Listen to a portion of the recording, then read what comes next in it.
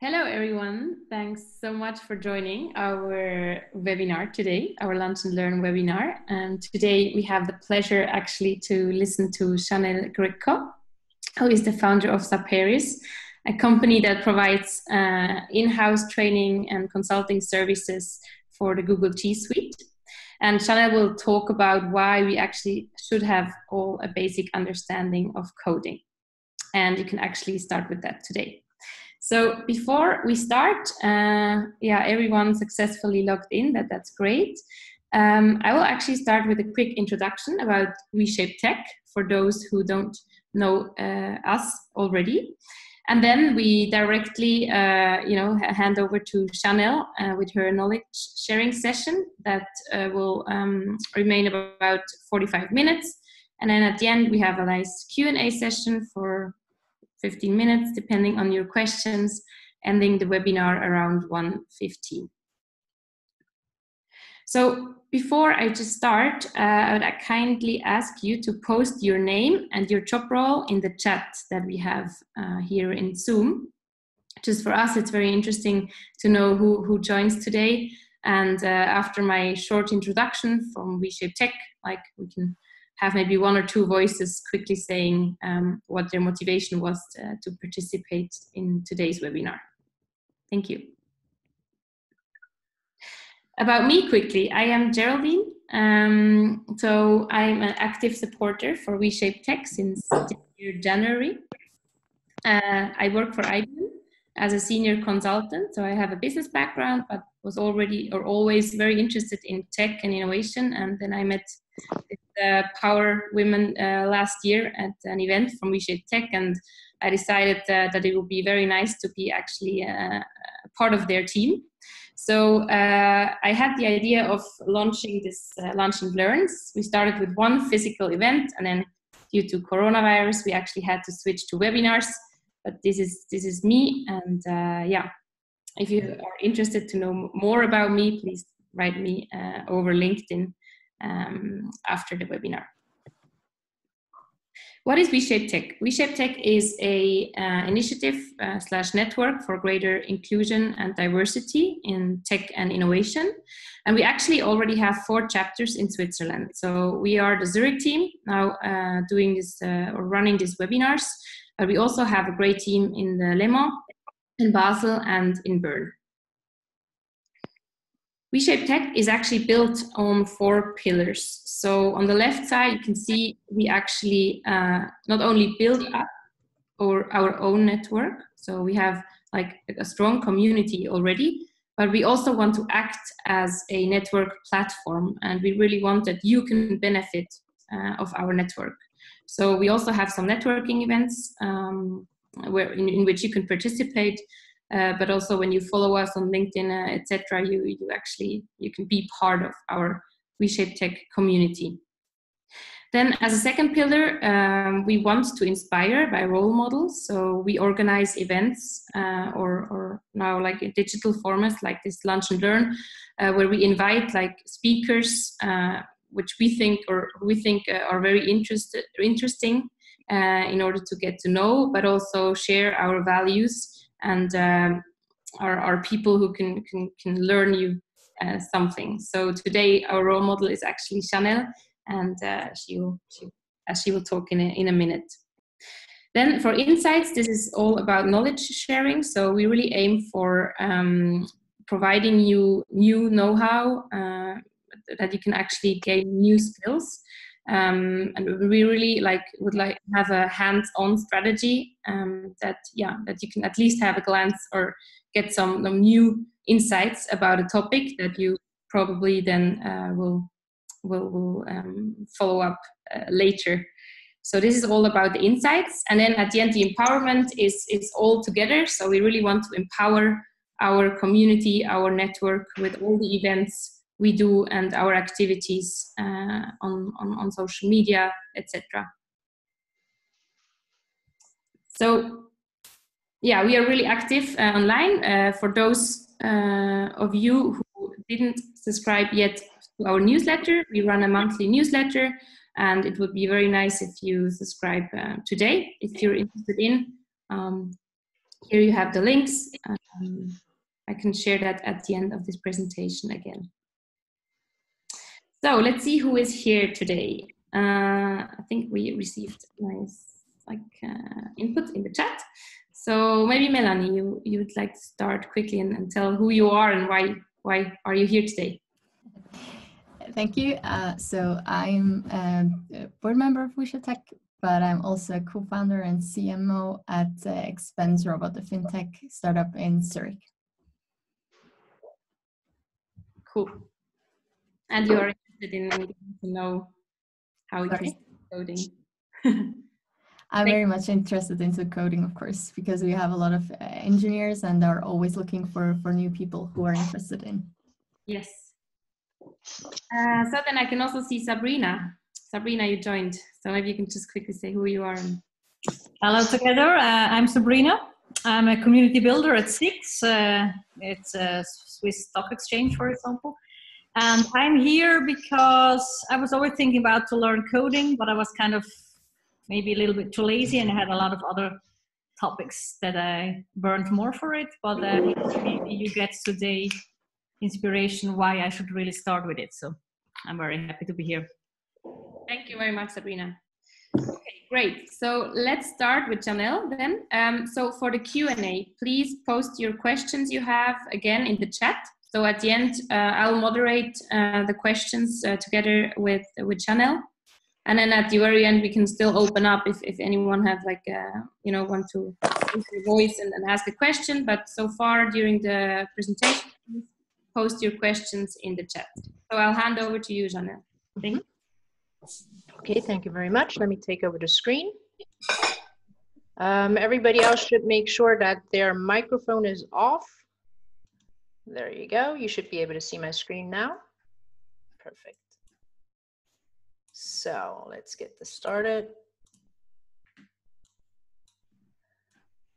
Okay, so the title of my talk is why we all should have basic coding knowledge and how you can start with it today. A very, very bold statement, I know, but I think it's worth it. And as we heard from Sabrina, some of you are still out there looking for inspiration and still guessing, should I learn to code or not? And I hope that this gives you the needed push to actually do so. Um, my talk will be two separate parts. The first actually is quite personal. It's my journey into tech, what I experienced, what I've learned from it, and what I believe others can learn from it.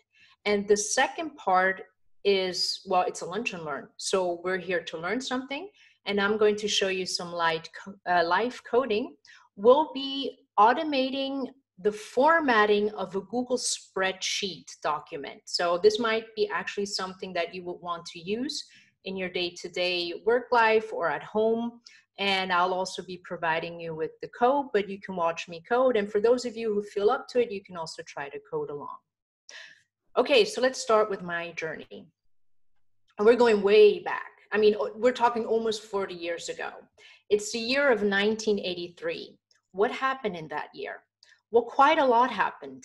In January, it was more or less the birth of what we call our internet because the TCP IP, this is a protocol that is used to send data over the internet. That was made the standard protocol for something called the ARPANET, which was created by the US military, and that's the predecessor of our internet the CD was launched. Um, Lotus Note spreadsheet was launched, something you couldn't automate back then.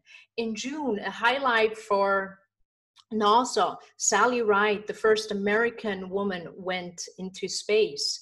Um, the first mobile network was launched in Chicago in October. Now, if you have a, a look at that image, I don't think any of us would have wanted to carry around that huge cell phone. But I mean, that's the basis for the for the technology, for the smartphone technology we have today. And another example in October, there was a software that was launched, the word processor that actually was then acquired by Microsoft and became Microsoft Word, a software we're still using today. And in November, you're probably noticing something's missing. Well, that was my parents' highlight because I was born. And on a side note, you know how they say, oh, every mother, when she sees her baby, she thinks, this is the most beautiful baby ever. That's not what my mom thought when she saw me. There you go. That's actually me. I usually get a quite, quite a lot of laughs when people see that. So I was born in a time where a lot of where technology was emergent. So it, it wasn't like today where everybody had their smartphone, even five-year-old kids, but the technology we're using was very much based back then. So let's fast forward 10 years into my journey. And my father bought our first computer. And the guy who sold him the computer actually installed this game on it. This is Indiana Jones. And it was, for me, love at first play, if I may say so. So I really fell in love with video games, something I still enjoy playing today if I ever find the time. And it also opened up the world of technology to me because this was the first time I actually came in contact with the computer. And um, I had to learn how to use this computer. There are my parents didn't really have more knowledge than I did. So after a couple of months, I actually was the person at home who had the most knowledge. And you know, kids with new technology, there's just no fear. You just try out stuff and you you you, you learn how to use it. And that's how it was for me. It was very natural. It came very natural working with the computer.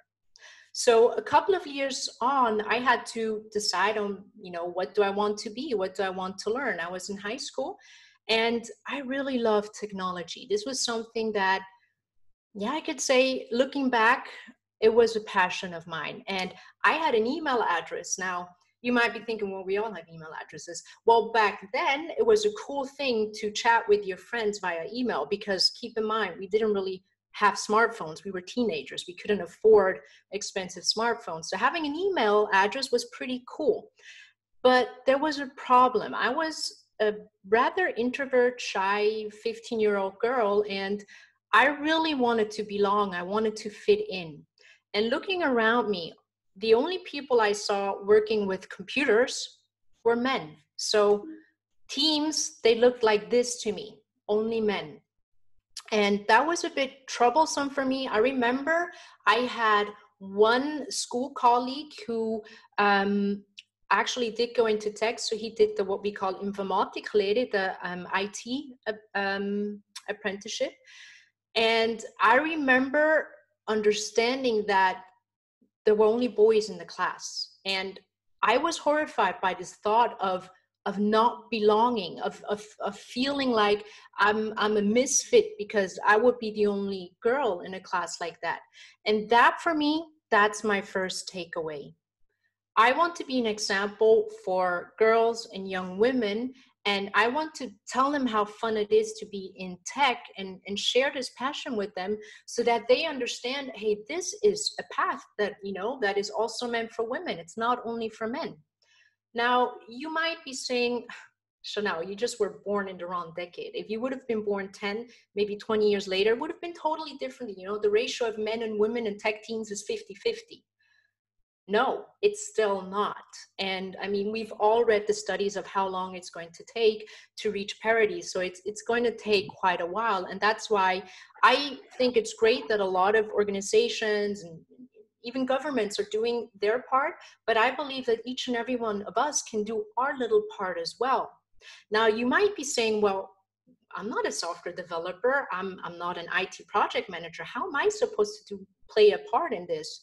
Well, last year, when I was working as a coding teacher, one of my students told me the following you know when i asked her so tell me noemi why why are you learning to code? Because from what i understand you don't want you don't want to become a software developer. So what's your motivation? And she told me the following. She said you know i have two little girls at home and i really would love for them to give tech a try as their career but if they were then to ask me, well, mom, did you give tech a try? Did you try to code? And I would have to say no. That would be a really bad example. So she was setting example and saying, I'm learning how to code, even though I'll never become a software programmer. And, and she, it's not for her. It's not something that she says, ooh, this is what I want to be. But she wants to ex- set an example by learning the basic coding skills so that she can be an example for her daughters. Now, in my personal case, I don't have children, but I make a point of talking to young girls like my friends' daughters and telling them about tech and, and being really passionate. And, and something I've really noticed is that when you show the passion you have for tech, that's something that's contagious that will make them want to look at it and a couple of years back i did the same thing with a young friend of mine and she was just in that transition of what should i learn what should i become and she gave it a try and you know what she's a front end engineer today and she loves programming and i'm so happy to, that i did that because it was a perfect match between tech and her and um, and her team is also very happy that she that she as a female developer joined them Okay, so that was my first takeaway. Well, after a while, I did break into the tech industry. So, um, a friend of my then boyfriend had uh, his own tech company, um, and he hired me as a first level computer supporter. And I was thrilled, and I was eager to learn, and I was asking questions, and I I really really loved it. But I worked in an almost all male team. So the technicians and all the other supporters, they were only males. And it was a very competitive nature. I didn't really feel comfortable there. And I really remember this one situation where one of the technicians walked up to my desk and I had this book on my desk that was about um, tech, you know, about explaining what is a processor, what is hardware, this and that.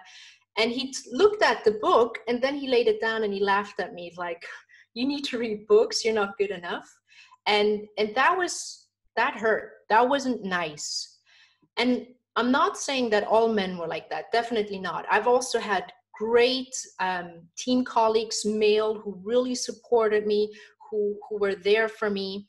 But the negative um, the negative experiences i've had sadly usually were men. The few i had they were men. Or that you know, like the engineering um, department would say, oh yeah, Chanel's cute, but her technical knowledge is not that great. That's not something you would say about a guy. Oh, he's good looking, but he's not that good at tech. But anyway, that's what I experienced. On the other hand, what I also experienced is a nice balance. So when I was working as a junior software developer, my um, mentor, he was a senior developer, 20 plus years um, experience in developing. And I also on that team had a, a little bit of younger, actually, she was younger than me, a software developer. And what struck me about her was the empathy. So I had like a perfect balance between somebody, you know, with a lot of hard skills, a lot of technical knowledge, and someone with the soft soft skills to build me up. Because learning something new and also learning something as complex as for example programming is not easy. And a lot of people start doubting on their own intelligence and i did too.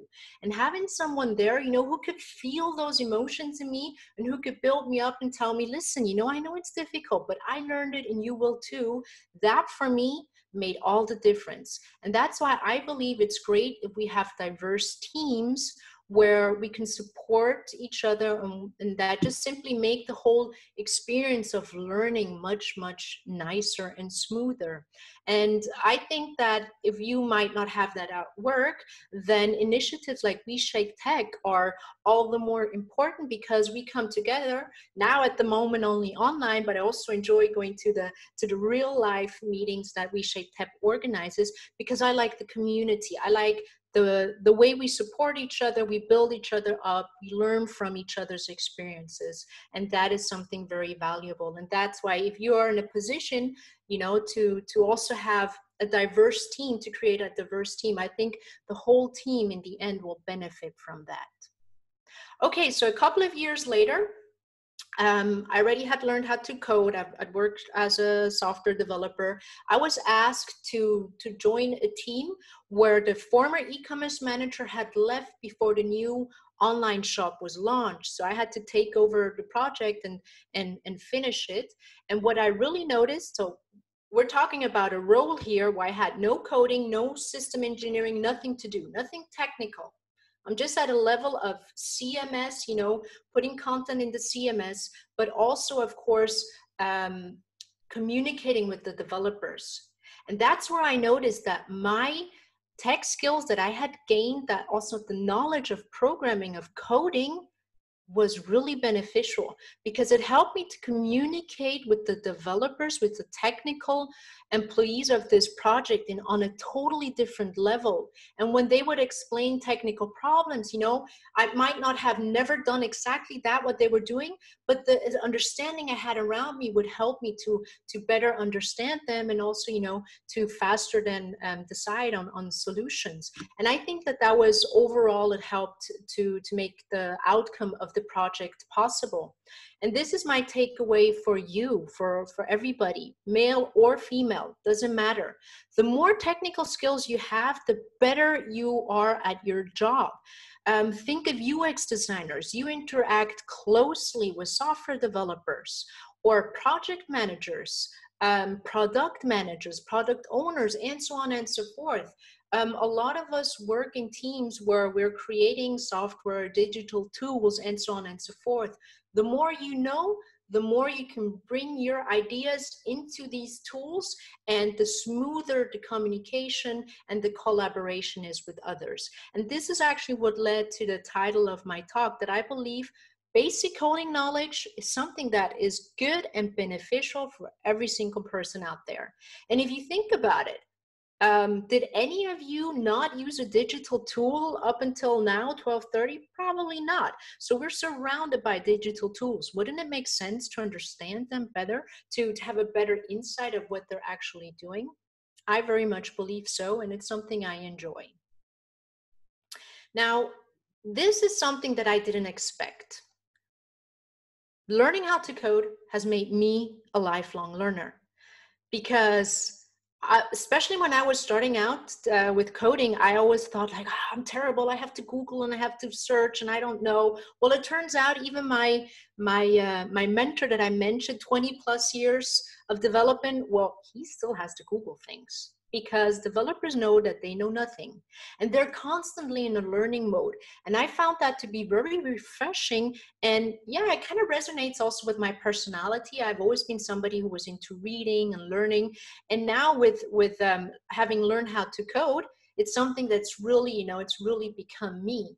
And that doesn't mean that i'm finished learning. Not at all.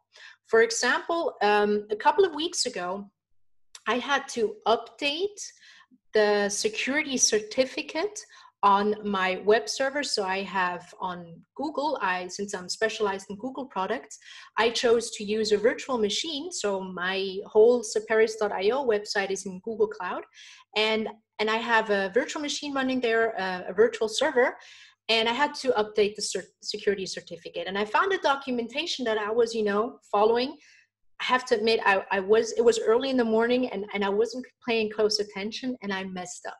So by the time I went to restart my server, it kept on failing.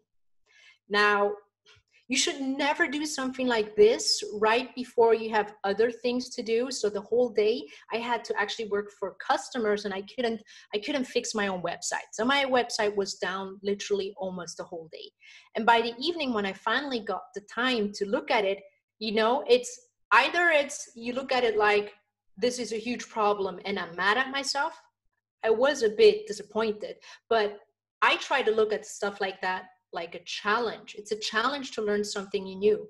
And literally by the end of the day, my server was up and running again because I just kept on and I learned so much. Now we're talking about, you know, security protocols, uh, certificates, and, and kind of like more system engineering and, and DevOps. This is not something I really have experience in. So I was learning something new and I had to find a solution to a problem. I mean, I founded this company on my own. I'm the IT team. There's no one else. So if I mess some, some, something up, I have to solve it. And I learned so much. And this is something I've learned through coding. Yes, I've also broken customers' applications, but then you find the bug, you fix it, and you learn it. And lifelong learning, I believe, is something that nobody can afford to ignore it because you can't expect to finish with your i don't know your bachelor's degree with 23 24 and then say so now i'm working the next 40 years and i'll never learn anything new. That's just not the wor- way the, the world works. And technology is advancing so fast that you know you just have to keep on learning. And this is something that learning how to code really has done for me. And the final takeaway for me is confidence i learned something that a lot of people put off as that's too difficult to learn or maybe like sabrina mentioned before i've just never found the time to do it um, others think, you know, I'm terrible at math. I'll never learn coding. Well, I'm terrible at math too, but you know, this is something that I'm really happy that it was my dream and I stuck to it. It was difficult, but you know, I succeeded. And I'm also happy that I didn't give up when others were making fun of me or you know I, I remember like one job as a front end engineer when i was just learning how to code how this one person who wanted to hire me at the end i mean everything was perfect but i had to work through a demo which was something that i wouldn't even had to do at my jobs like databases and this and that i had no idea and he's just like yeah you don't have to do that at your job but i just want to see you know how you would deal with something difficult and i i failed miserably at it okay i failed miserably and he then gave me the feedback, well, you know, I don't see your potential. So, you know, I'm not going to give you the job. And I remember how that day I was so depressed. I, I spent the rest of the day in front of the PlayStation. I just turned off my brain and went gaming. But the day afterwards, I said, and I'm going to prove him wrong. And a couple of years later, actually, I made it as a software developer. And by chance, I saw him at an event and I told him, you know what you told me back then? Well, I didn't give up. I actually succeeded at becoming a software developer. But what makes me the most happy is that through my journey, through learning how to code, and through my passion of sharing this with others, I've actually helped others to learn how to code themselves. And it's it's something that I it's a feeling I almost can't describe. When you're there after a whole uh, day of teaching and the the students, you know, trying to make their code work and they're really tired, but they're like, so happy and say, finally, I understand this. That is something so rewarding. And my journey has led to me being this rather introvert, shy little girl to a confident woman who said at the beginning of this year, okay, so now I think it's time to start my own company and to teach people how to use software, how to automate um, Google Apps by writing Google App Script. And I'm, I don't think I would have had this confidence without what I went through and without also the, the learning of, of software, of, of coding. This was enorm, enormously important for me. So I believe that coding and tech gave me a confidence boost and it will give a confidence boost to anybody who's willing to put in the work and to learn something that admittedly it's it's not very very easy and it takes some time and dedication but it's definitely possible and that's why to sum it all up i would say if we lead by example we can shape future tech teams we can be examples for young girls out there who aren't sure should I get into tech or not? Is this something for women as well? Let's show them that it is and that they can learn it because we learned it as well. So that's the personal part, that's the journey part of what I experienced. And what I'd now like to do is um, go into the, the coding part, the hands-on coding demo. And we'll be doing so with Google Apps Script. What is Google Apps Script? Mm, I imagine most of you haven't heard of it yet. It's a scripting language that's based on JavaScript. And JavaScript is one of the three technologies that still today we use for, for websites. And that would be HTML, CSS, and then JavaScript. So if you've ever written any lines of code of JavaScript, you'll be learning Google Apps Script in no time. It's really very easy to, to understand how Google Apps Script works. And it's something that's built into the Google products like Google Sheets, Google Docs, or Gmail it's already built in. You write it in a script editor in your Chrome browser. So there's no need for you to install any software for this. And once you've written these scripts that automate something, that do something, and you hit run, well, what happens is that it runs on the Google web servers. So there's no need for you to have like a, a development environment and a production environment. That's, that's not necessary. That's not needed. And to sum it up, I would say Google Apps Script is something very easy to learn. So for those of you who say, um, I'm looking for my first programming language, I think that uh, Google Apps Script is, is a good option to do so. Okay, so what will our demo scenario be today? Um, think of the following. You have a report from an analytics tool, from some external data source, and um, you extract a couple of numbers, analytics numbers, and put them in a Google spreadsheet. Now you want that to look in a certain way. Maybe you have your corporate design with your colors or with your with your font that you like to use. Um, and this is what we want to do. We want to create a custom menu item in Google spreadsheets, so in Google Sheets that we, when we click on it, it automatically formats that report for us. And that's what we'll be writing together. So it'll look something like this. Um, you see the on the top screen or on the top image you see are kind of like our blank report just with the values in it. And then on the bottom you see how we're going to format it. Now this of course is a very simple example. Uh, you could make it more complicated but i think for starters we'll keep it easy. Now before i start writing code i usually think through my code. So i think through the algorithm that i want to write and in our case, it'll be the first step to access our active spreadsheet that we have open in Google Sheet and stored in a variable. Once we've done that, we'll identify our header row as well as the whole table with the content, with the values, and we'll store those two things, those two objects in separate variables. And then we'll change the format of our header row, the format of our table, and we will create a filter for our header row. Now, I can't literally see all of you, but some of you might be thinking, wait, hold on. Algorithm, that sounds super complex.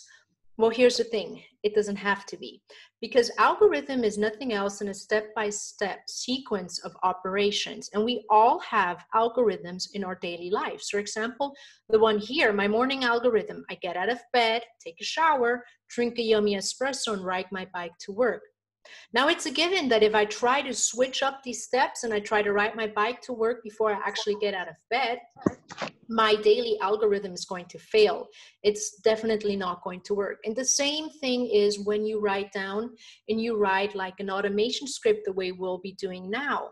You think it through first. So, where's my starting point? What's my ending point? And what are the separate steps that I have to define in order to get, let's say, from A to be. So that's what, it, uh, what an algorithm is. Now, I also mentioned something called variables. Variables are a storage that contain values. This still might sound a bit abstract, but I'm sure we've all seen something like this in math um, in math classes when we were back at school. A plus B equals C. And what did our teachers say? Well, A, B, and C can hold any value. It could be, for example, 1 plus 3 equals 4. I mentioned I'm terrible at math, and I have to admit I don't like numbers. So I like the following example much better. A, B, and C could stand for pumpkin plus pie equals pumpkin pie. So the value that we store in those variables, that's up to us. That depends on our script. So if ever anybody ever wants to make me a cake, it's a pumpkin pie, please. Okay, so now it's time to write our code. And to do so, I prepared a Google spreadsheet. This is our weekly analytics that you saw the screenshot of before. And the way to add my automation is by going to tools and then to script editor. And it opens up the built-in script editor. So this is nothing I had to install. This is provided by Google in spreadsheet, in docs, wherever, in whatever app of theirs. And the first thing I'll do is I'll give it a name. Um, format report. I'll save it like so. And this here is just, um, this is just kind of like, I wouldn't say dummy code, but it's, um, it's where we will write our code inside. Now just wait a second. I have to quickly go and get my code. Where is it? Oh, I forgot my own code. Ba, ba, ba, By the way, since I'm going to have one second to search this, are there any questions up until now? Geraldine, I know this is improvised. Yeah, no, no, that's okay. Um, just mute yourself, unmute yourself if, if you have a question. No questions. You're also stuck on variables and, and algorithms. Maybe Okay. A quick one. A quick one, go ahead. Um, if you say this is all run on Google servers, do they have any like rights on the code you're gonna write? Uh, no, so everything you do on, on Google Cloud is yours. Um, also, like if you have G Suite or not, everything belongs to you. So Google doesn't get to, to access any of that. Okay, thank you. You're welcome. So by the way, what I totally forgot to, to mention is that I'll be working through, uh, or what you see now, that's, that's you see my chanel.greco at saperis.io. That is actually my G Suite business account. So I have a paid business account that I'm using, but um, you can do this with your Gmail account, with your standard Google account. You don't actually need to to have a paid account which is a pretty cool thing. So i have to admit i'm struggling a bit. I lost my code. Where to go? How do we say in german the demo effect any other questions at the moment? Nope. Da, da, da. let me just quickly see.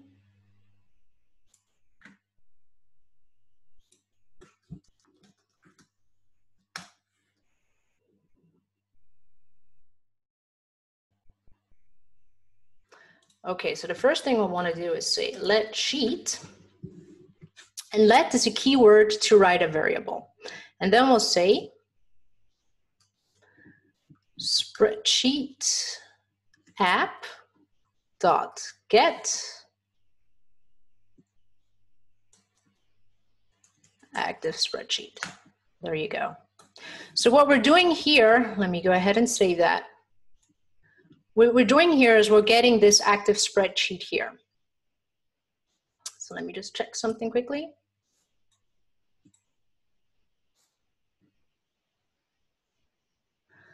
There you go. You guys still hear me, right? Yeah, Perfect. you can see the Excel. You can see the, you can see this here? Yeah. Okay, perfect. So my code is loading up over here.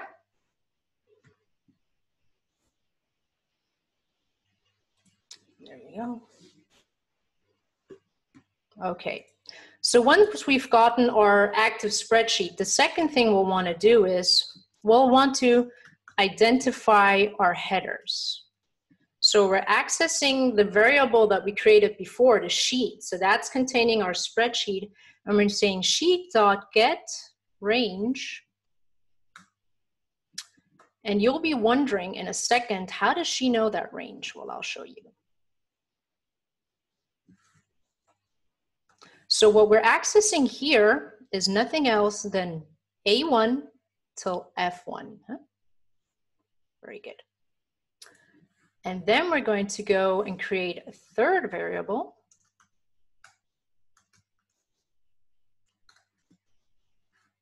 And there you go. And that which is saved there is this here. Hmm? So that's what we're saving in that third variable.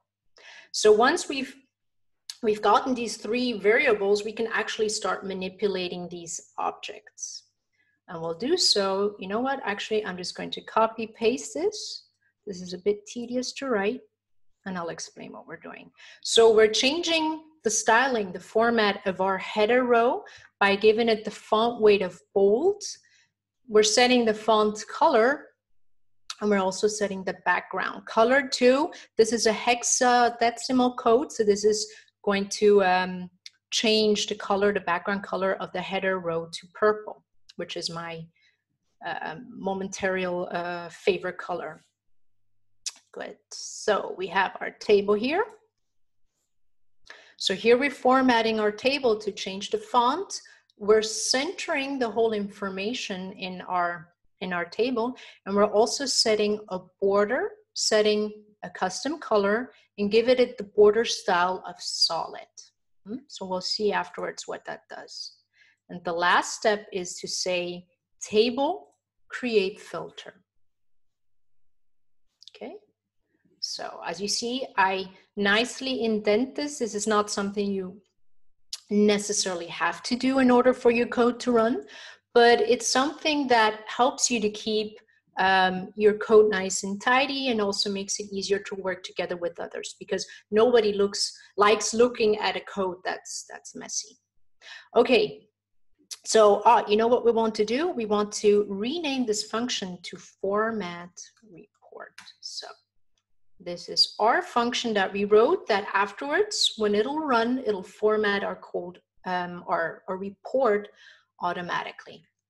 So maybe quickly here, you see how we're saying spreadsheet dot get active spreadsheet? I'm using dot a lot. Why am I actually doing that? We go back to our presentation. You'll see that we're using what we call the dot notation. So what you see here on let sheet, that's the variable we're creating. So we're kind of like creating a placeholder and we're storing our object, our spreadsheet.app object in there. And there's a method provided on this object, which is to get active spreadsheet. That's what I said, where we're actually having our code look at our spreadsheet and it's like, oh, this is the active spreadsheet. Okay, I'm going to store that in this variable. And that's how you use objects and methods to do something. Now you might be asking yourself, how would I know what object to use and what method? I have no idea. Well, here's the thing. Google tells you what to use. Because when you create um, a software for others that they can like automate things like Google has done with Google App Script, then you usually also provide a documentation. It's kind of like the manual that you buy when let's say you have um, I don't know, a new car. I know a lot of people don't read manuals, but I do. When we buy a new car, I read through the manual. So this, I do the same thing when I'm learning something new in tech. I read the documentation of the manufacturer because who knows best how to use their their tools. And so what's really nice about this documentation, as you see here on the screenshot, it really shows me, it doesn't only explain what it does, but it gives me code snippets, it gives me code examples of, of how to use this code. And that's how I know that I have a spreadsheet app object and I have a get active sheet, for example, or get active spreadsheet method that I can use to interact with my report. Okay, now we want to do the second part of our automation, and that would be that we want to create a custom menu in our Google spreadsheet that we can then click on and then it formats our report. And we do so again by writing a little script and here's the algorithm that we'll be writing. So we access the UI of the spreadsheet and again, we store it in a variable. Then we create a new menu, a custom menu. We add an item to that menu and then we add the newly created menu to our UI so that it appears when we open up this document next time. Okay, so then let's go back to our code in our script editor and we'll add a second function. We'll call it on open this time.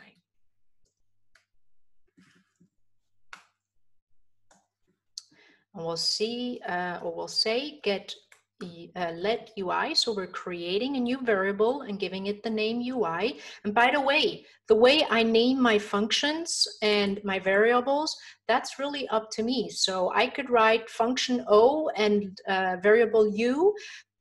It will work. The, the, the server understands me. But I guarantee you the next time you look at your code, let's say in two weeks, you won't remember what O and U is. So always think of, you know, giving your variables and functions names that actually make sense to you and hopefully also to others.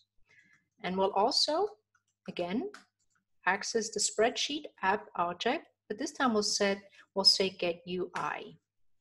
Gets the user interface.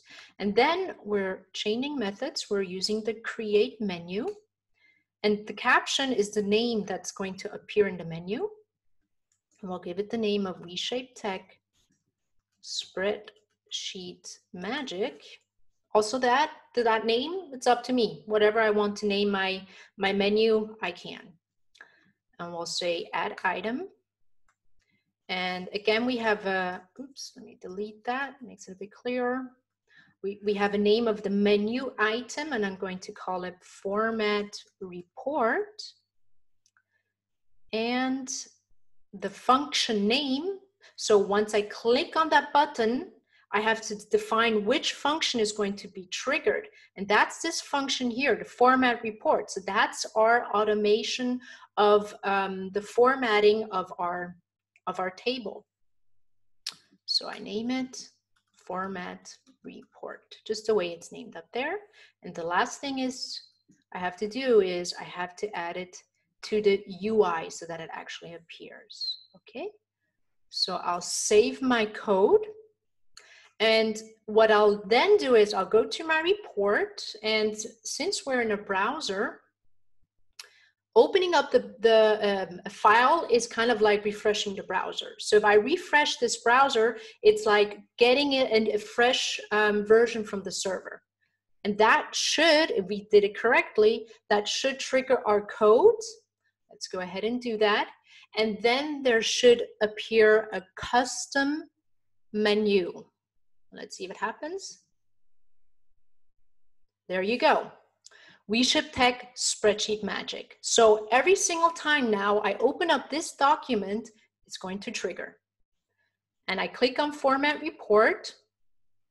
This is crucial and very important because what's happening now is I'm being asked for authorization for my script to actually um, manipulate or access this file that I'm in, this document I'm in.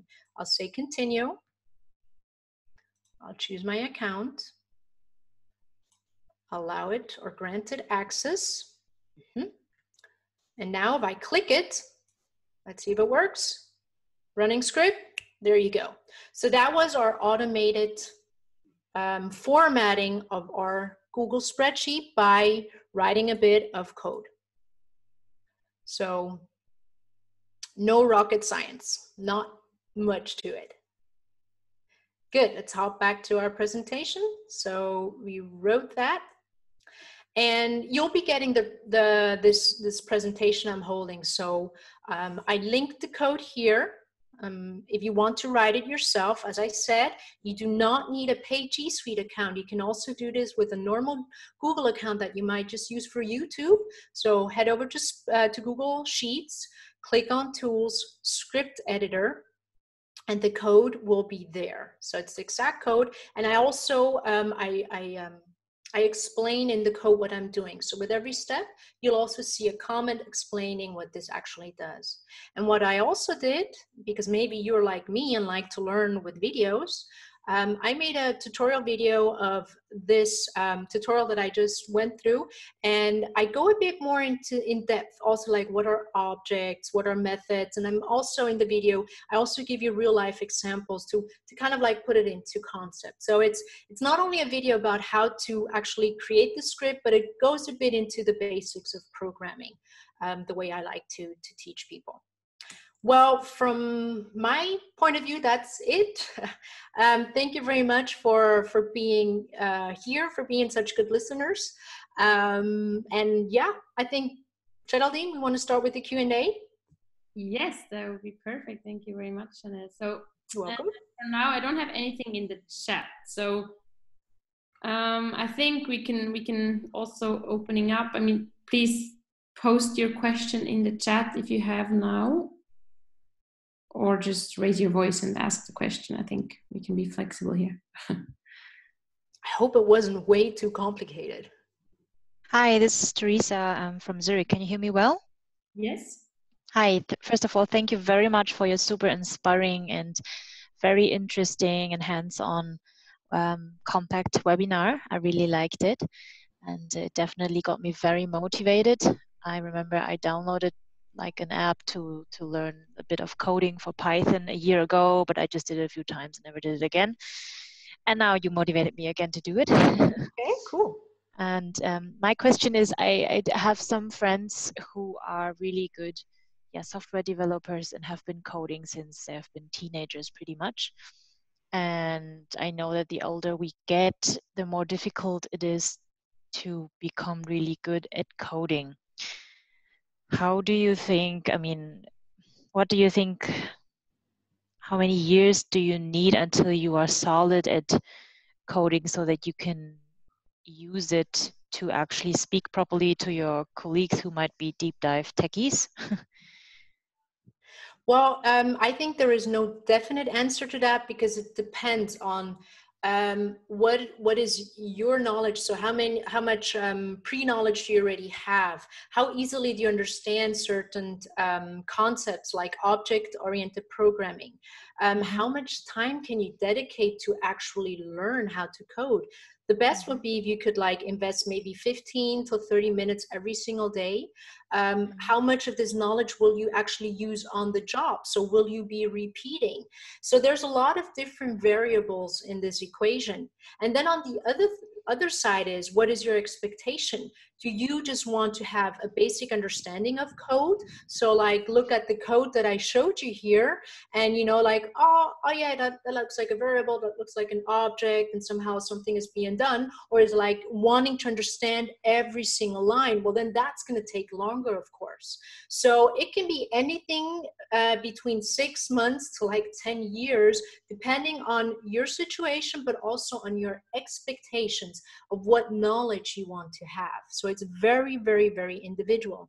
And at the moment, for example, I'm coaching somebody who who really wants to transition into tech, and I think she's about 45, and um, you know she's learning week by week. So it's nothing that you say, okay, you can learn how to code until you're 20, and then that's it.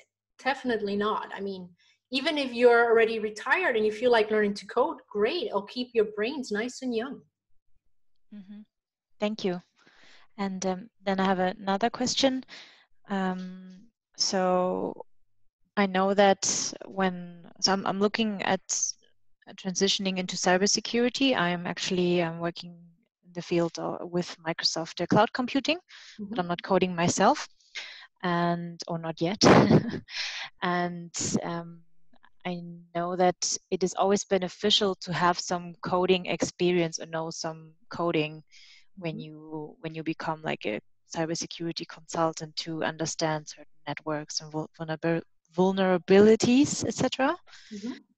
Um, do you have any experience uh, with that? Do you, do you know where to look for, except on Google, of course?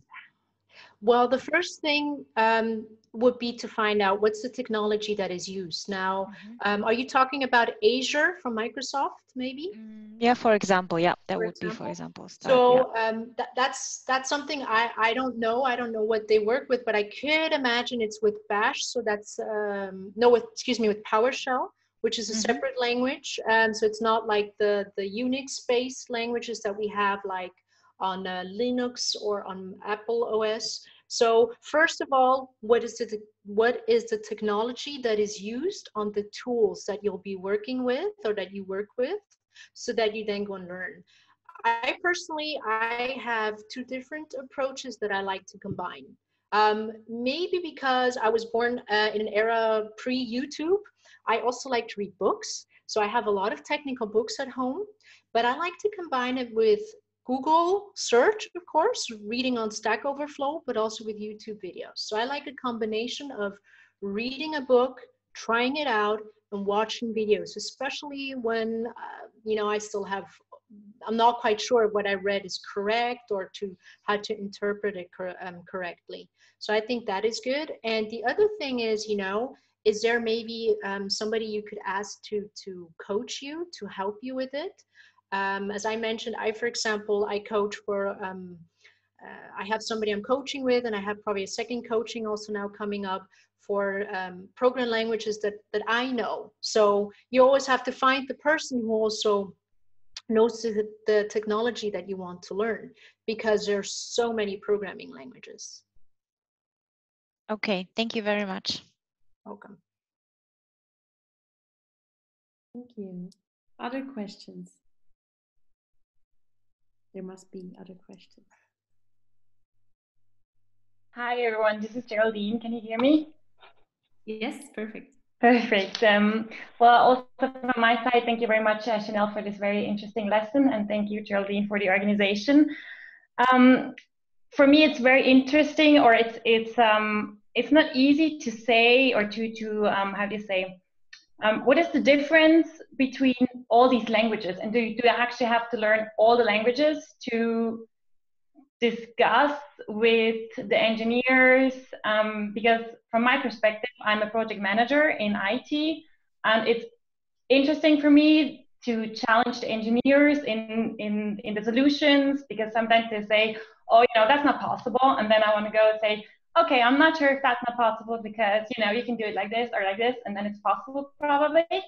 So to me, it's, um, it would be really interesting to see also a bit the differences between the languages so that I'm maybe a bit faster in learning. Mm-hmm. Um, you definitely do not and you cannot learn all programming languages because depending on the estimations, there's anything between 700 and more than 2,000 programming languages out there.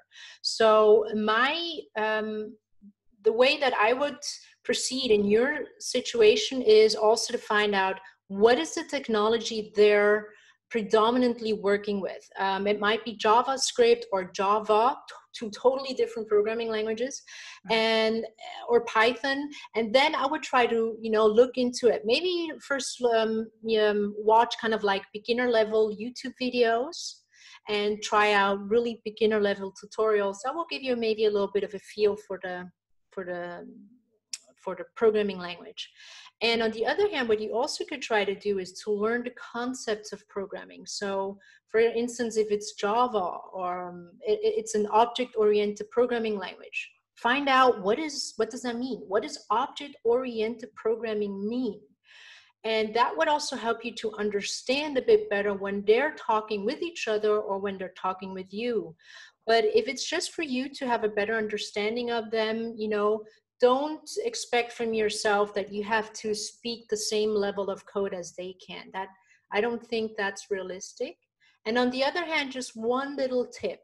If a developer says categorically that is not possible, it usually means he's what he's trying to say is or she what she's trying to say, I don't feel like doing it that or that way. So, you know, usually um, you can do almost everything with code and my experience is also from when I didn't know how to code yet and I was IT project manager and I would hear, oh, that's not possible. Well, it turns out afterwards I found out they just didn't want to do it that way. Mm-hmm. Yeah, exactly. I've, I've made the same um, experiences myself. Thanks for the explanation. You're welcome. So maybe in general, um, for those of you who are looking to to maybe try out coding a bit, as I showed you, Google Apps Script is a good possibility.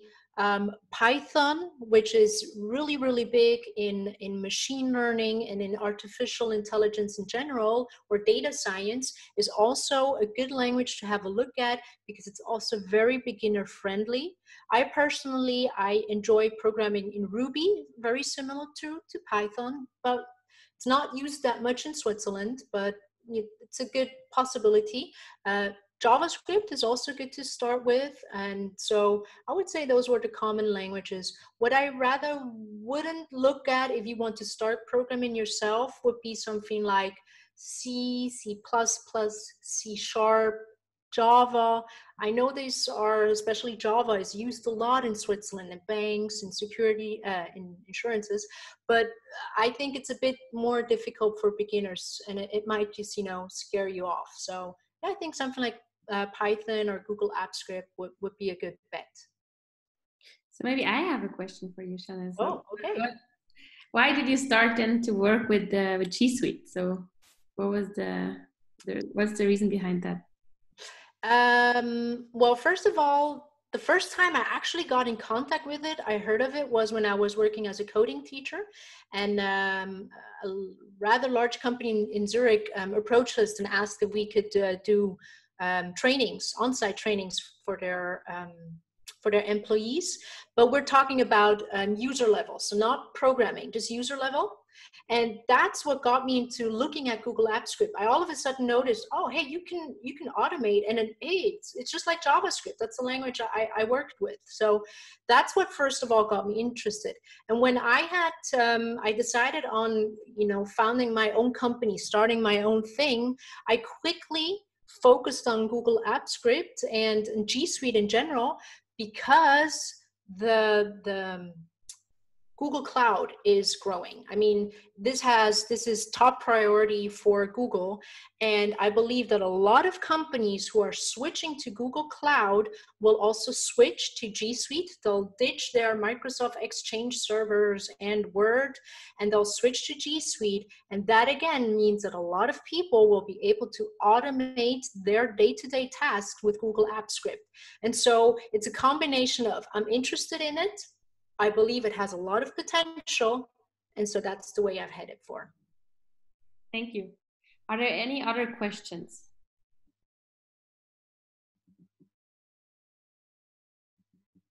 Okay. Great. So let me take over the slides then. Hmm? So yeah, thank you very, very much again. Can you see my slide? Yes uh, yeah for this very very inspiring talk and uh, I, I, mean at least for for myself and i think sabrina as well and and the others they they're already very uh, motivated to, to uh, sorry teresa was it?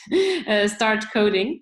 Um, so um, after this webinar we actually not only share these key takeaways from you chanel but you also prepared uh, this great presentation and tutorial. So we are going to share um, everything um, including the recording um, with you per email after this webinar. So thanks very much, Chanel. Um, so as I said in the beginning, uh, we have quite a huge pipeline um, for, of events uh, from WeShape Tech. We actually will run this lunch and learns uh, on a bi-weekly basis. So the next one is with Dennis and Max, the co-founders of Baterion and they will talk on 2nd of June about why lithium ion batteries are meant to last and how it impacts the electric mobility. So it would be great uh, to see you there. Then we have a uh, or two workshops actually planned already. Uh, one is with the SRF in August about uh, performance improvements and A/B testing, and the other one is then at the Swiss Post um, in October um, about visualizing visualizing Black Friday data with the Splunk app. So um, in order to find out more about our events we plan, you can find that again on LinkedIn uh, and on our website. And as I mentioned in the beginning, uh, it would be great if you subscribe to our newsletter. So we just recently started this webinar, right? And uh, we would really like uh, to continuously improve so if you have feedback if you have like ideas for for new speakers inspiring role models um, please share it with us. Uh, we, we happily receive your feedback on our webinars. And now thank you very much for joining today. Uh, i wish you a happy tuesday afternoon and uh, yeah enjoy your lunch and talk very soon. Thank you very much